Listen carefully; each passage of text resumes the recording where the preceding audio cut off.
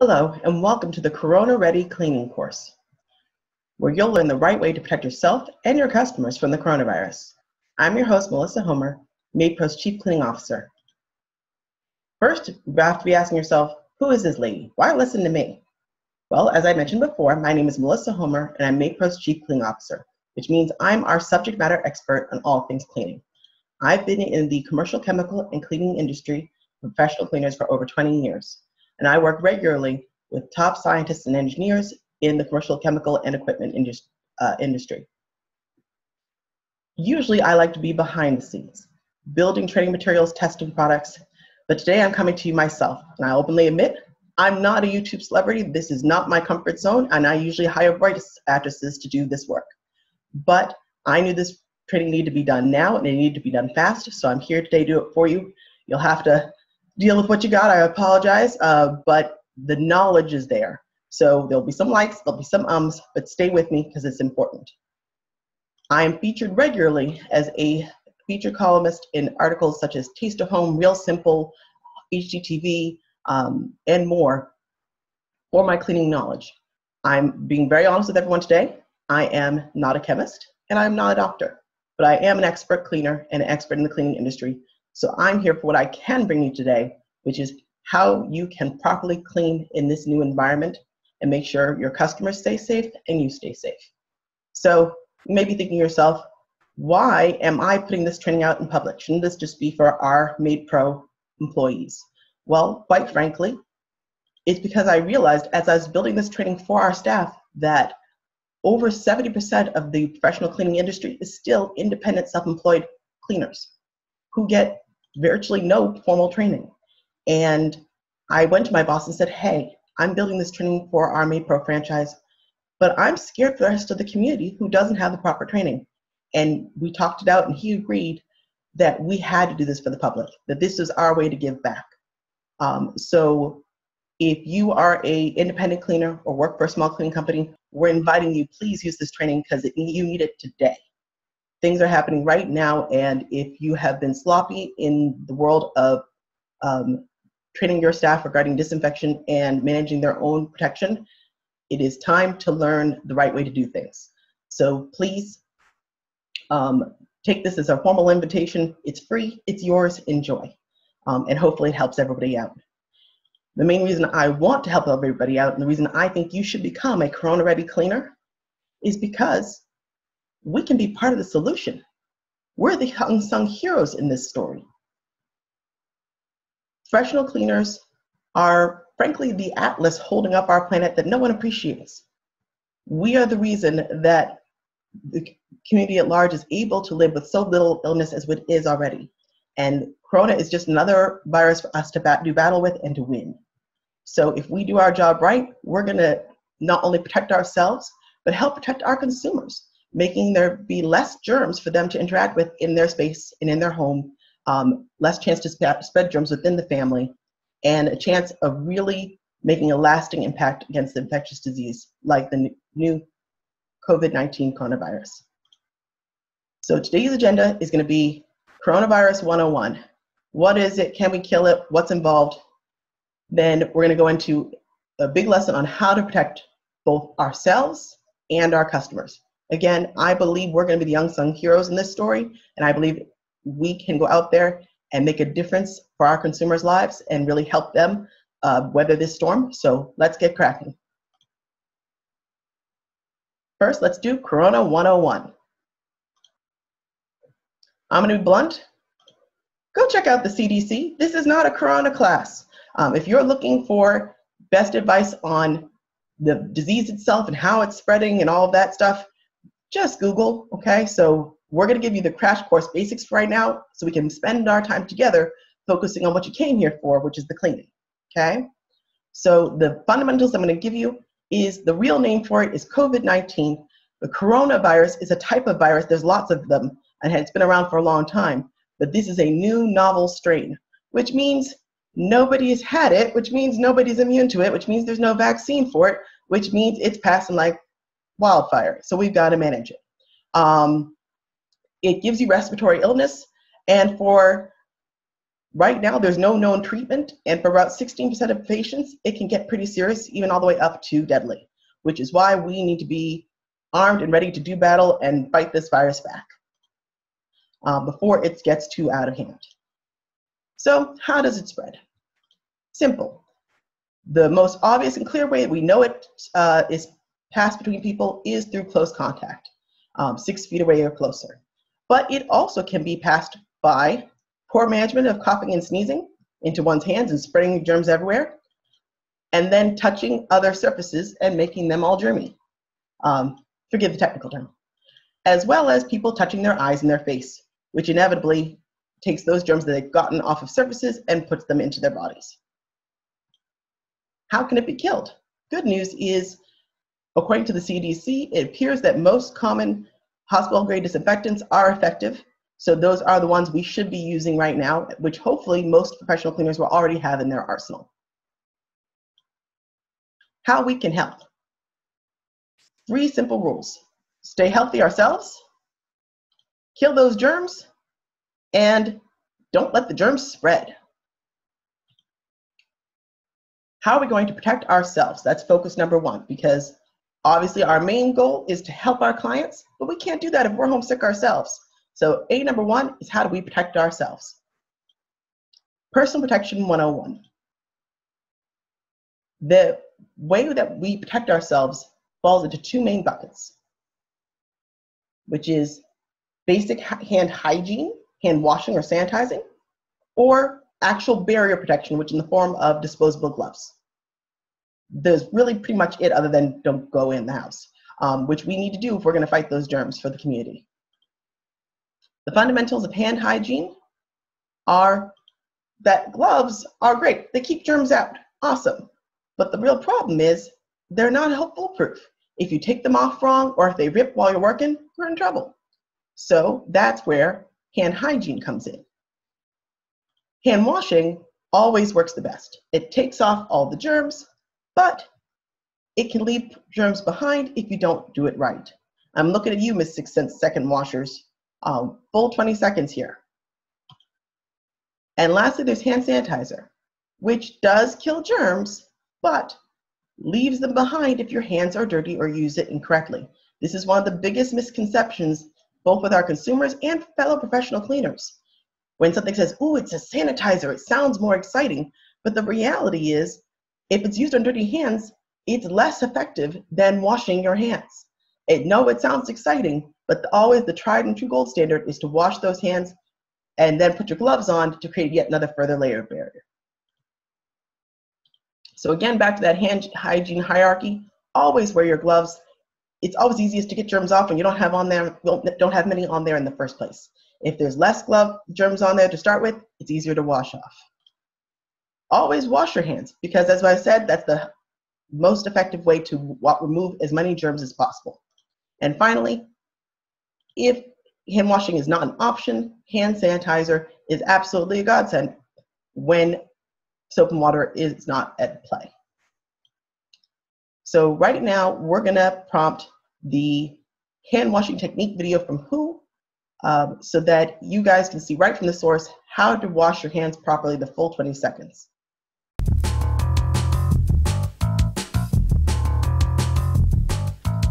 Hand washing should take you about one minute. Use a timer or count from 1 to 10 in each of the following steps. Wet hands with water and apply enough soap to cover all surfaces of the hands. Let the water run smoothly to avoid touching the tap later on. Rub hands palm to palm to obtain a good quantity of foam. Then rub right palm over the back of left hand with interlaced fingers, and vice versa. Rub again palm to palm with fingers interlaced. Rub the back of your fingers to opposing palms with fingers interlocked, repeating this action for each hand. Rub rotationally left thumb clasped in right palm, and vice versa. To clean the tips of the fingers, rub rotationally backwards and forwards with clasped fingers of right hand in left palm and vice versa. Rinse hands thoroughly with running water. Dry hands thoroughly with a single-use towel If the tap is not elbow operated, use this towel to turn off the tap without touching it directly. Your hands are now clean and safe.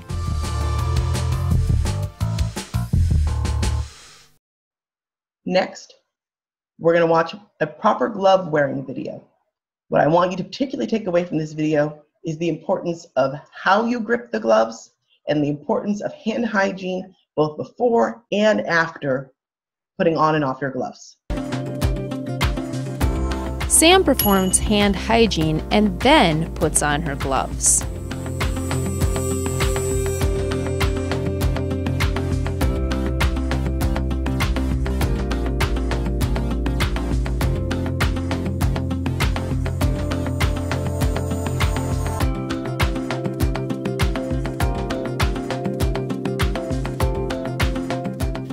Sam knows the outside of her gloves are contaminated. Using her gloved hand, she grasps the palm area of her other gloved hand and peels off the first glove, holding the removed glove in the gloved hand. She slides her fingers of her ungloved hand under the remaining glove at her wrist and peels off the second glove over the first glove. She discards the gloves in a waste container. Sam performs hand hygiene. That's more like it, Sam. Just to reinforce what you've seen in both of those videos, hand washing needs to be at least a full 20 seconds. Find your favorite song. It's all over Twitter right now. I don't care if it's Staying Alive from the Bee Gees or Raspberry Beret, but wash the full 20 seconds. And remember, use that paper towel to exit the, uh, turn off the faucet and leave so you're not picking up somebody else's bad six second washing job. And in terms of the proper glove wearing, the key that you may not have picked up there is it's all about not touching your gloves with dirty hands first, so you're putting dirty gloves hands in the gloves, and touching the outside of the glove with already dirty infected hands. And when you are pulling them on and off, you're always grabbing at the wrist, not the hands where it's most likely going to be dirty. And when you're removing those gloves, you are pinching the glove as opposed to sticking your finger under it for the first one. So you're not taking that dirty gloved hand and shoving it all over your wrist and palm. You pull it off, and then with the clean hand, slide under the other hand to pull, peel, and contain them together. If you can master that, then your gloves are actually doing something for you. But here's another way they may not be doing something for you, and this is where I see a lot of professional cleaners could use a lot of refresh, which is the touching the eyes, nose, and face problem. Gloves are awesome, but they do nothing for you if you take those gloved hands and then start rubbing your eyes and scratching your nose and eating a snack while you're at the clean with your gloved hands on that hasn't been washed. So you need to learn to protect your eyes, nose, and face. That looks like coughing properly into one's elbow as opposed to one's hand, which you're trying to keep clean, for both the consumer's sake and for ourselves. It also looks like not touching your eyes. It also looks like remembering that when you're cleaning, you need to learn the joy of the forearm. Your forearm can wipe a sweaty brow, your forearm can push up your glasses, your forearm can do lots of things, and it tends to be much less germy than your actual hands. Um, if you are a frequent eye toucher, I recommend wearing safety glasses or goggles during this time frame not because it's going to help you protect from a virus, but because it's going to act as a physical barrier to remind you, oops, I'm touching my eye. Oops, I'm touching my eye. Well, once it told me, don't touch my eyes. So that will help you remember and hopefully retrain the behaviors. Um, again, this is something we should have been doing anyway. No one wants to pick up customers' colds or flu or toddler germs. This is just doubling down what we should have been doing everywhere anyway. So don't let this scare you. This is typical protection for house cleaners always. It's just we have to make sure we're doing it right now because something even more concerning than usual is available to get in our bodies, and we want to keep it out. Now, everyone's going to ask me, what about masks? Let's be honest. You can't get them anyway, so stop stressing about it. But even if you could, it's a pointless activity at the moment. Well, about that. So, we've got a critical update, which is in case you've been living under a rock, the CDC has changed its direction from originally stating that masks were not necessary to they are now an incredibly important part of fighting this disease. So we now have to change our question from not just what about masks to what changed about masks? Now you may be thinking, ah, the CDC got it wrong. But actually, they didn't get it wrong. They changed their perspective, which is a, such an important thing to do when you're studying anything. When they first looked at the issue of containing this disease, they thought about masks as we've always thought about them, as personal protective equipment, PPE, which is all about protecting yourself. And they knew at the time that there was a shortage of the style of masks necessary to filter out tiny virus particles. And so they said, well, gee, don't bother. The masks you could get a hold of are not going to be filtering enough to protect you. So it's not going to work. But then they changed their perspective and they thought about instead of, oh, I'm just going to protect myself, can we all protect each other? And they shifted the idea from PPE, personal protective equipment, to CPE, community protective equipment. Can I wear this mask to protect you, and you wear this mask to protect me? And when they changed their perspective, it changed everything because it turns out the requirements for a mask that can keep your germs in are far simpler than a mask that can filter out microdroplets from far away. It turns out any old mask, fabric mask, disposable mask, whatever you can get a hold of, will actually do a pretty darn good job keeping your germs to yourself. And if everyone's wearing one, there's far less in the air for you to breathe in and make you sick. So that perspective change from PPE to CPE is what really changed. And the change is beautiful. It's selfless and it's really cool science. So speaking of beautiful, let's check out our pros in their new community protective equipment, made provided, of course, um, allowing you to see that showing the world that you care about them and your customers that you care about their health can really look quite stylish. Who knew? Protecting others is beautiful. And it's as simple as your face mask, disposable gloves, safety glasses, protective booties, um, these are all going to keep you either from breathing out germs you shouldn't into the community or picking up germs you shouldn't onto yourself. And the safety glasses are again just to keep you from bonking your eye. Easy, right? So now that we know how stylish and effective masks can be, let's talk about how we take care of them. Let's talk about mask maintenance and ask ourselves the question, what are the rules for masks? And the rule is simple. Think of your mask like you would any other article of clothing that you wear close to your skin, whether it's gym socks or a t shirt you wore out gardening or any other sort of undergarment. The rules are exactly the same. You'd never wear stinky old sweaty socks from yesterday because you haven't had a chance to wash them yet. You'd never run around in a dirty shirt you wore gardening covered in dirt and germs because well, I'm supposed to wear it all day. It doesn't matter if it looks gross. You know better. Same rules with your masks. And the rules are simple wear a fresh mask every day. At the end of the day, wash it. If it gets something disgusting splashed on it, take it off and put on a fresh one. If it gets all holed and torn and otherwise disfigured, it's time to toss it and get a new one. Think of it like you would any pair of underwear or socks or t-shirt or any other clothing you wore close to your skin. And you know what to do already. Easy, right? Now let's talk about how to wear the mask properly. To wear the mask properly, I'm gonna have to show you by wearing one. So forgive me if it muffles my sound a little bit. The top mask mistakes are when you put your mask on properly, it just sits along your nose, along your cheeks, along your chin, right? Well, the top mis- mistakes are you let your chin pop out because it's too small for you, or you've got your nose popping out because you think it makes it easier to breathe, even though now all the germs are shooting over from your nose. You got it so tight that you can't talk, or so loose all the air is flowing up the nose sides and out the sides and out the bottom and not actually getting filtered through the cloth like it's supposed to be or you got it on right, but then you're touching it all day long, touching that dirty house full of germs and getting it all over your mask. Or worst of all, you're constantly taking it off, defeating the purpose of it.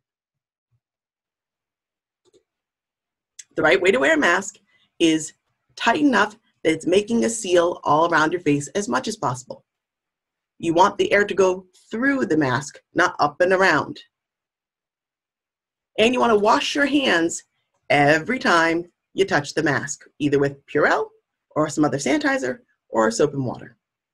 Because again, if you've been touching your dirty house and then touching your face, you'd have no idea what's on there. Easy, right? Which now brings us to the question of what about those filtering masks, those KN95s or N95 masks? The reality is, right now, there's still a nationwide shortage that's probably not going away for a while. But since I want this update to last, I'm going to talk to you about them now in case you are able to track some down in the future. N95s or KN95s, uh, KN95 is the Chinese standard, N95 is the US standard, are a type of filtering mask that actually can filter down fine enough particles to stop viruses. But most people, particularly most house cleaners, have never been properly fit test for these type of respirators. A fit test is when you put this mask on and make sure it has a perfect seal around your face and they put a big old hood on you and spray all sorts of stuff in there that you try to breathe in for like half an hour to see if it sneaks in anywhere if you can smell anything and taste any bitterness in the in the special spray it's a whole thing okay and if you have not gone through that process that means you have no idea if your KN or N95 mask fit you well enough to actually filter out everything. So, if you track down some of these masks, they can provide you some additional protection in terms of the germs that are in the air. They can filter them better, but you cannot rely on them the way a healthcare worker does to break that six foot social distancing. You must maintain social distancing even if you track down one of these masks because you have not been properly fit test to ensure the proper full seal all around the nose, sides, edges, etc. But again, if you get a hold of them, they're great. But we have to conserve them because again, they are of limited supply and we want to make sure as many as possible are going to healthcare workers and we're getting the non-sterile packaged extras that still should be again conserved until there's a chance for the manufacturing community to catch up to the need. So what does that conservation look like? Let's talk about the KN95 rotation plan. If you happen to track down some of these masks, you're going to need a minimum of at least three. And you're also going to need three cloth masks to put over them to protect them. So once you track down those masks, that's going to be three sets. Set A, set B, set C. In each set, there'll be a cloth mask, a KN95 mask, and a plain old brown paper bag. And take an old Sharpie and just mark them all up so you know which one's which. Easy, right, so far? Cool. Each day at work, you're going to want to put on that KN95 first and smooth it over your nose. Make sure you get as tight a seal in your face as you can. And you're going to put your fabric mask over the KN95 mask to protect it from soils in the air and soils on you know the surfaces that you might accidentally touch your face. So that fabric mask is going to protect your KN95 mask and help you keep it longer. Easy, right? Wear it all day, just like you would the normal fabric mask. Anytime you touch it, again, you're still gonna need to sanitize your hands or wash them. At the end of the day, what you're going to do is you're going to take them aside and the fabric mass, you're gonna wash it. Hand wash it, washer dryer, whatever you get a hold of, launder it. The KN95 cannot be washed. And whatever YouTube tells you, don't try sanitizing in the microwave in case you enjoy fire. Um, so don't do it. It can't be properly cleaned unless you have a special factory to do so, and you're not a factory. So your only option is to let it dry out. You're going to take that K95 and plop it in an open brown paper bag. That's it. Just let it sit there. It's going to air dry. In around 24 hours, the germs that are on the mask should die, but we're going to let it sit there for several days just to be sure. Because COVID uh, 19 does last 24 hours on porous surfaces like cardboard and stuff, but we want to give it an extra couple days because, you know, let's not mess around. The next day at work, you're to wear set B. Again, KN95 first, fabric over it, wear it for the day, wash your hands when you touch it. At the end of the day, just like last time, we're going to take the KN95, plop it in our brown paper bag to store, and the fabric mask we're gonna wash. Do the same thing for day C. So Monday, Tuesday, Wednesday now, right? By Thursday, that set from Monday has been airing out for several days, is good and dry, everything's on it's good and dead, and the fabric mask, if we hand washed it, has long since hung dry, and everything is ready to be used again. And so we can start all over. How long you can keep that KN95 mask is totally up to usage. Uh, if something nasty splashes on your face, you may not be able to use it past that first day.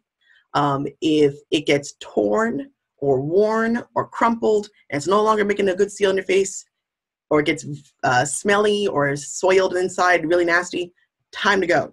Please don't wear a dirty mask. Even if you're like, oh, this is KN95, it's special. It's not that special. It's not worth an upper respiratory infection, okay?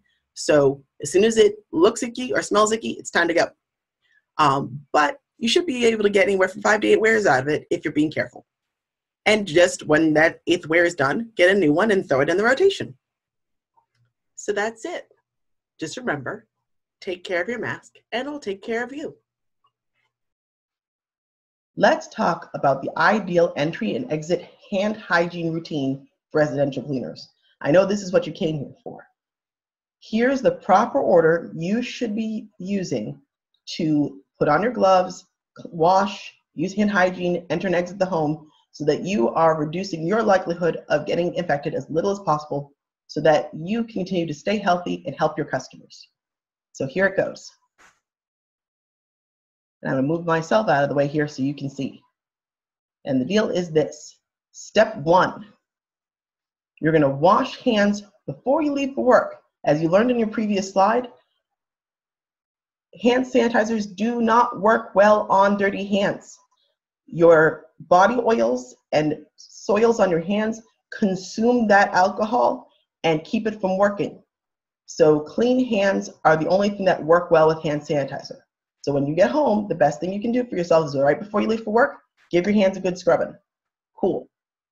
When you drive up to the customer's house, you want to have that hand sanitizer waiting for you in your cleaning caddy before you go into the property, pull out your sanitizer, give yourself one last good go over so you're sure your gloved, your ungloved hands are nice and clean. Grab your gloves from whatever box you keep them in, put them on properly, thank you, and head on into that property to go fight those germs and help your client out. Go in the home.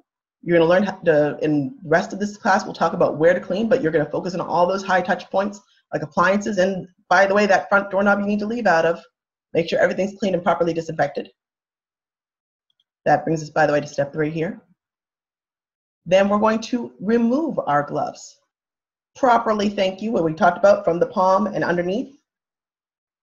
And immediately wash our hands properly in the customer's sink. This is at the very end of the clean, hopefully when we're all packed up and ready to go. After we've taken off our gloves and washed our hands properly, we're gonna scoop up the last of our stuff and head on out. When we get to our car, before we enter, we're going to grab our hand sanitizer and one last time go over our hands because if there's any germs in the property that through our disinfection we happen to miss, we want to make sure we're not taking those with us to the next client. So we want to do that before we touch the car and get the car all uh, infected. So again, if we're going to walk through the steps one last time, it's wash your hands, bring your hand sanitizer with you. Sanitize in the car, put your gloves on. Go inside, clean like you mean it. Remove your gloves properly and wash your hands in the sink. Go outside, give yourself one last splash of sanitizer, open the door, and away you go. And you will again have done everything according to the CDC that you can do to properly protect yourself against any infectious disease.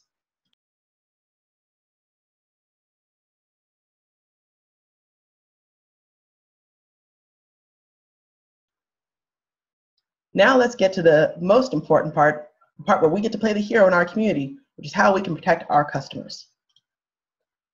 Let's first talk about cleaning and disinfection 101.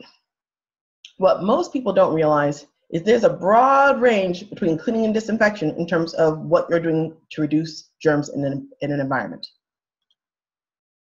When you clean, if you just use soap and water, which classically you know, has basic surfactants and degreasers in it, you are removing dirt and soil from the surface and washing it away. That act of removing the dirt and soil actually takes away a good solid 97% of germs. It's really good job. Uh, hygiene is important. It's why we clean in the first place.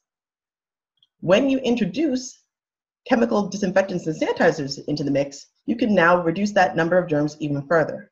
Sanitizing removes 99.9% of germs, which sounds really awesome, right? Except if you know about disinfection, which is where you can remove 99.999% of germs. Now, you may be saying to yourself, well, 97% sounded awesome. Who cares about that extra almost 3%?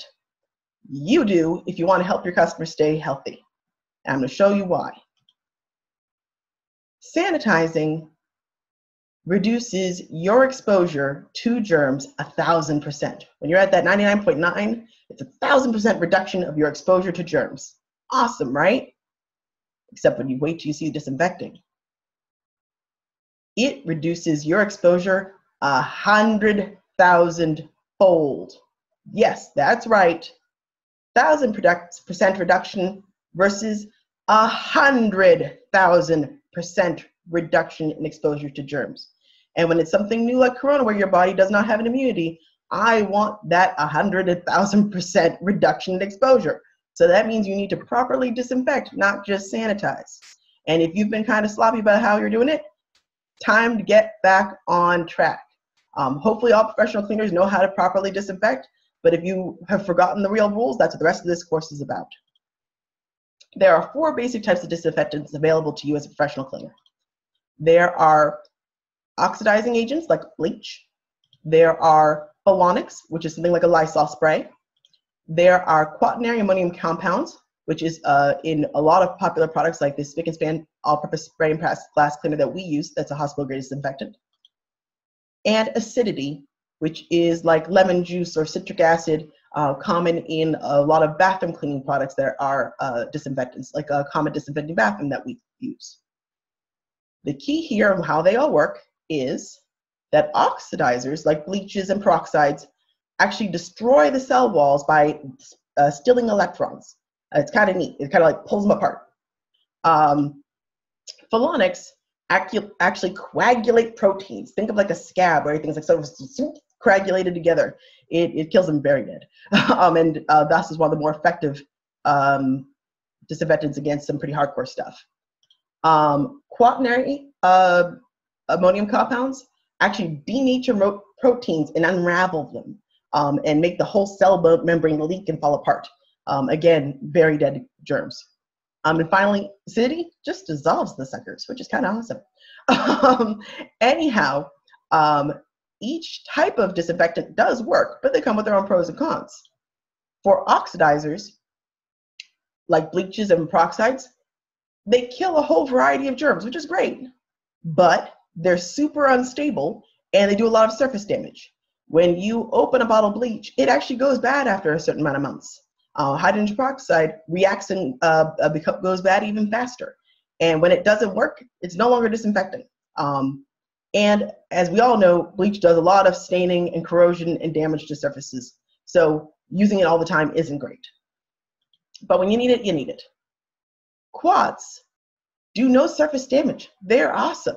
Um, they're actually one of the best choices, I think, for professional cleaners because it means we can use them everywhere in the client's home without damaging stuff. The challenge is that they lose power if there's dirt on the surface, which there shouldn't be because we're professional cleaners and we know what we're doing. So Quats is a great choice for professional cleaners, but may be more risky for a uh, consumer or independent that uh, not well trained and may not clean properly. The privilege to use Quats comes with the um, knowing how to properly clean and get dirt off the surface.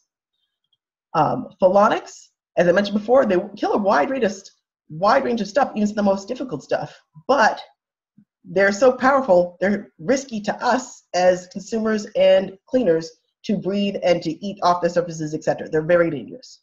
So they're great for germ kill, bad for us. So you only want to really use them in a healthcare setting where you absolutely have to. You know, if you're fighting C. diff and you're trying to manage it going through the, pro, um, the healthcare facility, you're going to whip out some Phenolics. But otherwise, it's not a great choice. Um, but again, we're grateful to it existing in the healthcare industry where we need it most. Um, and finally, acids. The good news is they're simple and they work. Uh, the bad news is, again, just like the oxidizers, they also come with some surface damage um, and some safety concerns because, well, no one enjoys getting burned by acid. So we're going to pick our poison here. Um, and again, depending on how they're used in each product, you're always going to read the manufacturer's labels, but this is the basics of how they work. So the underlying theme for all these products, though, is you gotta clean before you disinfect. This is the number one mistake of independent cleaners and consumers cleaning at home.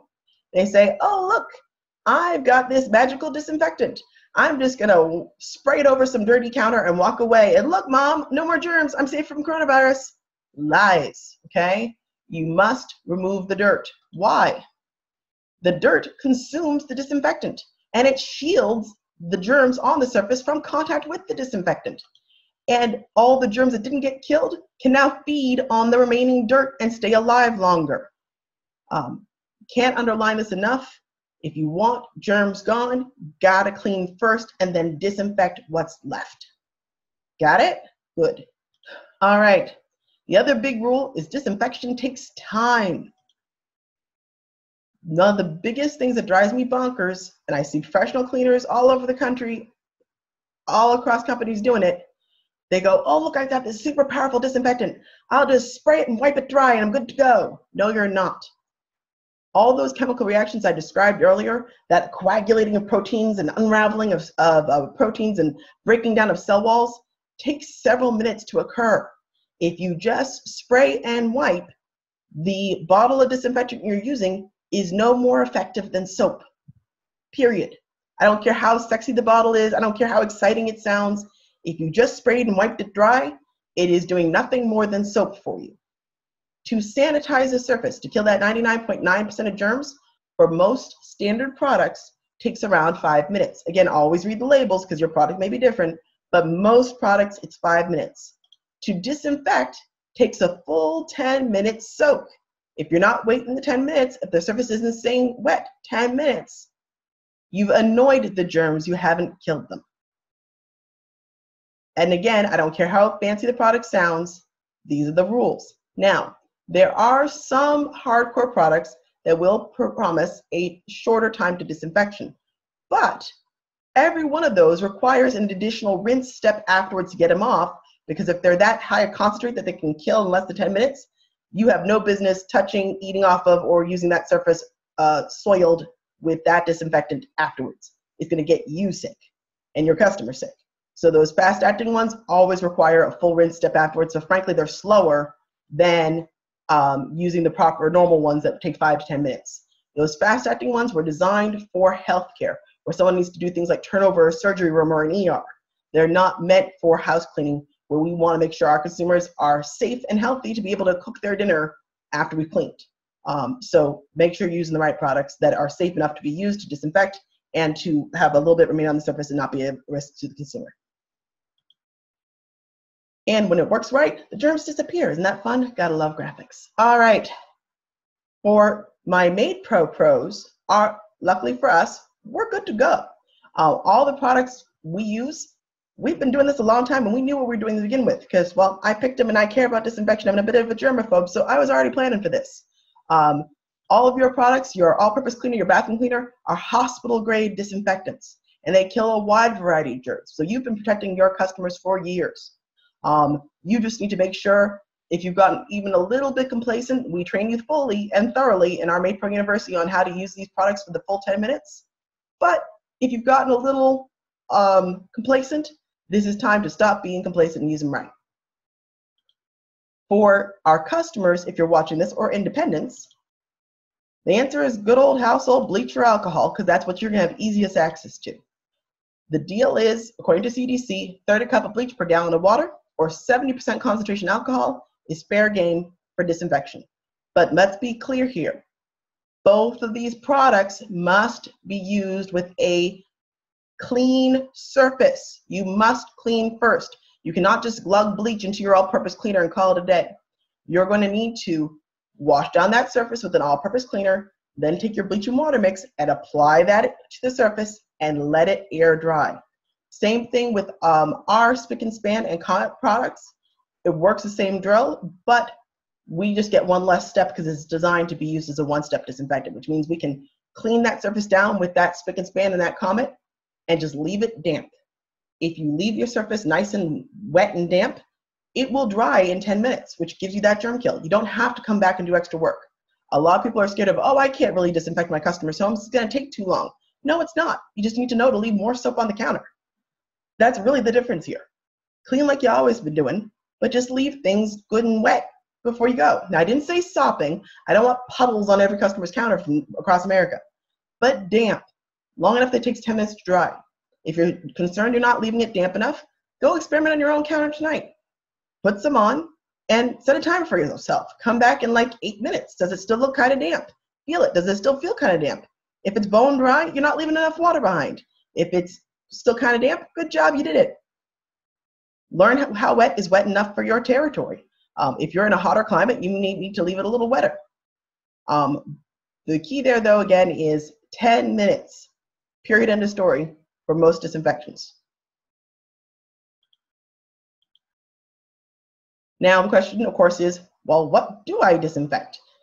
Let's be honest. Residential environments are not laboratories. We cannot steam blast all the walls, ceiling, floor, and bookcases and every little book inside, and we don't need to because good news for us is the coronavirus appears to live anywhere from hours to days depending on the surface. But it's not like it's going to be all over every little thing. Uh, most porous surfaces and things like that, um, soft surfaces, it actually is going to live less time on. So what we're really worried about is the high touch surfaces. Hopefully our consumers are doing their job. By the way, consumers, if you're watching this, wash your flipping hands the full 20 seconds all the time. When you get home from work, wash your hands. When your kids get home from school, help them wash their hands. Um, the more you can do to bring less contagion into your home, the easier shot we have of keeping your home germ free. Because if there's only a little bit around, we can nail it. If you've been really sloppy, there's gonna be a lot more for us to get. So for us, when we're looking for what we want to disinfect, we want to hit what we call high touch surfaces. These are the objects in the home that consumers tend to touch frequently, just like it sounds, high touch. All right, so what does that look like? That can be anything from doorknobs to cabinet pulls to uh, drawer handles to stair rails and chair rails. Um, it can be chair arms, like we were sitting in the top of the dining room chair where you pull back, guess what? You touch it a lot. Um, faucets, the faucet handles. Um, if they have one of those pull down sprayers, you better get that too. Um, appliance handles, uh, toilet flusher. Um, light switches is an often forgotten one. Counters and tables, big obvious there. And please note, if you can tell your consumer tends to eat off their coffee table, give it a disinfection too. Don't decide just because it's a nice coffee table you need to ignore it. Uh, quaternary disinfectants should be safe on most polyurethane wood, so you're good to go. Um, appliance buttons, um, dishwasher, microwave, all those little buttons on different equipment around their house, make sure you hit them. And of course, technology. So this is a tricky topic. Most technology, there's a risk of getting water into the appliance or remote or whatever it is, and you don't want to short out somebody's stuff. I get it. But we need to make sure they're healthy too. My best advice is spray your towel with your disinfectant. Give it a gentle rub to make sure you're getting everything as clean as you can first. Um, we want to get all the dirt and germs off because, again, people tend to be really terrible about eating and watching nightly shows and touching their remotes, and they're all gross and covered in food and bits and. Um, so get it as clean as you can. Then in terms of dampening it, the trick I have found that seems to work the best for me is I will dampen my um, microfiber towel heavily with my disinfectant and turn the appliance, whether it's a remote control, etc., upside down and block, block, block, block, block that surface to get it good and damp gently. What I'm trying to do is get that those buttons wet without pressing water past the seams of the button into the electronics. If I have it facing upright, gravity is going to work against me and pull those uh, soap down into the buttons and mechanics. But if I have it upside down and blot, blot, blot, blot, blot, I am much more likely to be able to get that surface good and damp without getting water into the electronics. Um, the customer's smartphone is probably with them, so you can't do much about that. Um, and a lot of touch screens have rules about what you can and can't use on them. So that's going to be for the consumer to handle on their own, unfortunately. But as much technology as you can wipe down, um, you know, remote controls, etc., do try to address it. Um, and remind your consumer that if they find out that their uh, computer screen, etc., can be cleaned with a disinfectant, uh, they should let you know, and that way you can take care of it for them as part of your routine. Disclaimer. In the last slide, I didn't tell you to disinfect the toilet, tub, shower, and sink because in professional cleaning, that's a given. It's like saying water's wet. The point of that slide was to list the stuff you might have forgot, not the basics like toilets, tubs, showers, and sinks. There, I said it. Now let's get back to the presentation.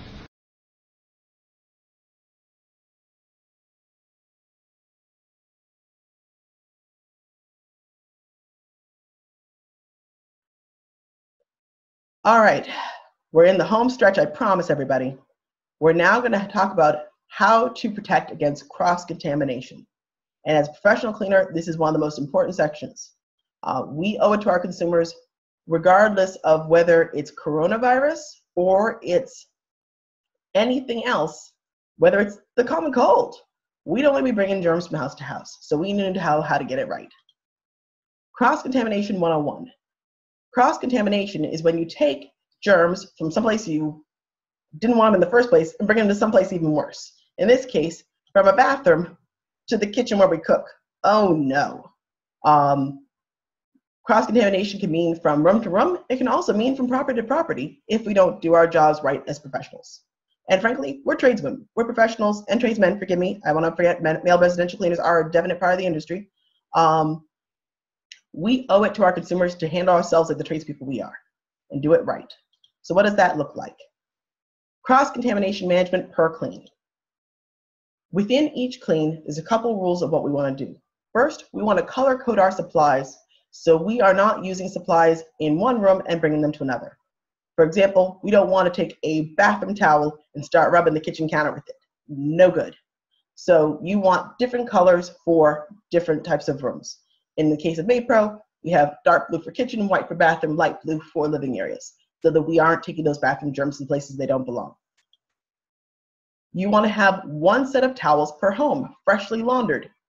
Um, if you haven't been packing up your towels this way before, get doing it. Um, what that's gonna look like is get yourself some laundry cinch bags. I don't care what you get, um, but figure out how many uh, towels you tend to use per clean. Uh, give yourself a little extra so you're not running out, and tie them up bag them up per home, freshly laundered, so you know that only this home is being used with these towels and there's no germs from anywhere else coming in. Next, you want to make sure that you're properly laundering those dirty towels as soon as they're done from that clean. Um, that means mo on most machines, there's a towel setting that's going to use higher heat and uh, higher heat dry and hotter water. And you're going to want to use quality detergent and bleach in the wash cycle to make sure that you are uh, eliminating as much dirt, germs, and contagion from that uh, um, laundry product as possible. Um, note that if you properly wash towels in the um, hot towel setting with bleach, you are removing dirt, germ, and viruses. So you are good to go. So those are perfectly uh, safe, sanitary, and ready to go for the next home. And finally, any tools that do need to be used from home to home, hard tools like scrub brushes, etc., need to be thoroughly washed at the end of the clean and sprayed down with disinfectant. Um, this is a critical step, again, to make sure that uh, the germs that are in any home, regardless of whatever's going on with the common flu, we want those to stay at the home they're in. So at, at the end of any clean, take those hard tools that um, are being used repeated uh, and make sure you're thoroughly washing them in the customer sink and spraying them down with your um, disinfectant before you put them away. And then they'll have a good 15, 20 minute plus soak in disinfectant between one clean and the next. And that way you know you're good to go for the next clean.